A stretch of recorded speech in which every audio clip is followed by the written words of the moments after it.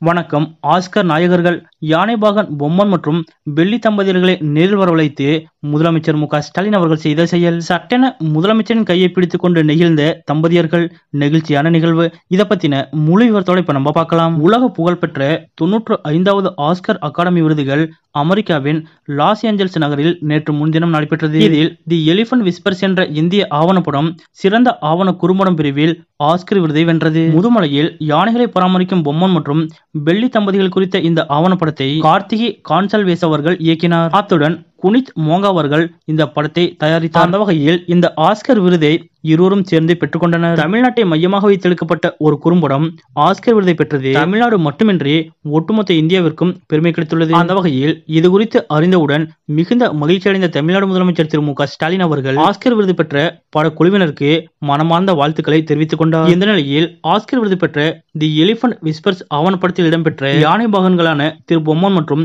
திருமதி பெல்லி தம்பதியர்களை நேரில் வரவழைத்து அவர்களுக்கு பொன்னாடி போட்டு பாராட்டி இருவருக்கும் தலா ஒரு லட்சம் ரூபாய்க்கான காசு 需要令以 வாழ்த்து தெரிவித்தார் முதலமைச்சர் ஸ்டாலின். அப்போது பொன்னாடி போட்டு பாராட்டிய முதலமைச்சர் அவர்கள் கையை சட்டனை பிடித்துக் கொண்ட பொம்மன் அவர்கள் மிகவும் நெகிழ்ந்து போய் முதலமைச்சர் ஸ்டாலின் அவர்களுக்கு நன்றி தெரிவித்துக் கொண்டார். முதலமைச்சர் அவர்களும் யானை பகன் பொம்மன் அவர்கள் கையை பிடித்து அவருக்கு பாராட்டை தெரிவித்தார். சென்னை தலைமைச் செயலகத்தில் நடந்த இந்த நிகழ்வில் தலைமைச் செயலாளர் இறையன்பு மற்றும் சுற்றுலாத்துறை அமைச்சர் மதுவேந்தன் ஆகியோரும் உடனிருந்தனர். இதனிடையே கோவை நீலகிரி மாவட்டங்களில் யானை பாகன்கள் வசிக்க உகந்த வீடுகள் கட்ட யானைகள் முகாம்களில் உள்ள தொண்ணூத்தி ஒரு பாகன்களுக்கு தலா ஒரு லட்சம் நிதியுதவியும் கோவையில் அடிப்படை வசதிகளுடன் ரூபாய் எட்டு கோடியில் புதிய யானைகள் முகம் அமைக்கப்படும் என்றும் முதலமைச்சர் மு ஸ்டாலின் அவர்கள் அறிவித்துள்ளார். இந்தியாவிற்கே பெருமை சேர்த்து தி எலிபென்ட் விஸ்பர்ஸ் ஆவணப்படத்தில் இடம்பெற்ற யானை பாகன்களான திரு பொம்மன் மற்றும் திருமதி பிள்ளை தம்பதியர்களை நேரில் வரவழைத்து அவர்களுக்கு பொன்னாடி போட்டு பாராட்டி வாழ்த்து தெரிவித்து தலா ஒரு லட்சம் ரூபாய்க்கான காசோலைகளை வழங்கியதோடு மேலும் இது போன்றுள்ள